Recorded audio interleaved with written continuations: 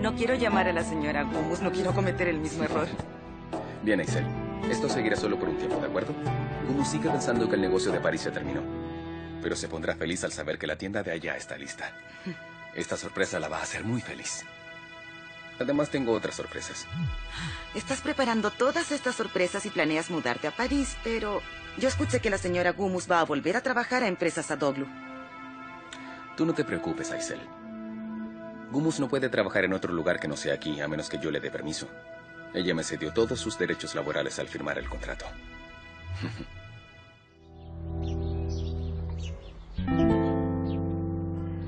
¿Estás hablando en serio, Mehmet?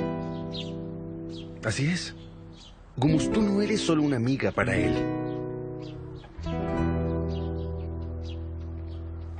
¿Acaso no crees lo que digo? ¿No crees en mí, Gumus?